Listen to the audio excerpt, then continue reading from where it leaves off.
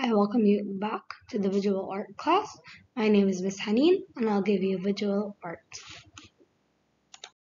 Introducing to the third week. We will be exploring 3D shapes, 2D shapes, and one-point perspective. The third week, where we are in place and time. We will be focusing on the key concept form through exploring 2D and 3D shapes and one-point perspective.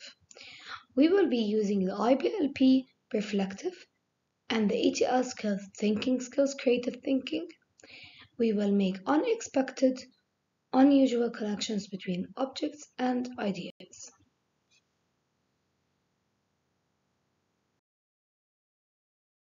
You will be using are oil pastel, colored paper, watercolor, white paper, and a pencil. I can't wait to see you grade 5 learners.